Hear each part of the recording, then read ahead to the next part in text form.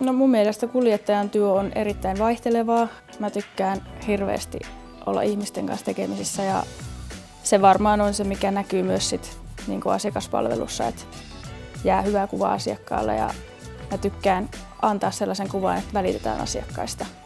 Työpäivät vaihtelee tosi paljon, että sä saatat ajaa sen 20 kilsaa eri kohteita ja sitten sä saatat ajaa myös se 300 helposti. Et vähän riippuu aina työvuorosta, mikä on. Siis kyllähän tämä on vastuullista, kun ajattelee sillä tavalla, että sä kuljetat arvokasta lastia ja tällä lailla.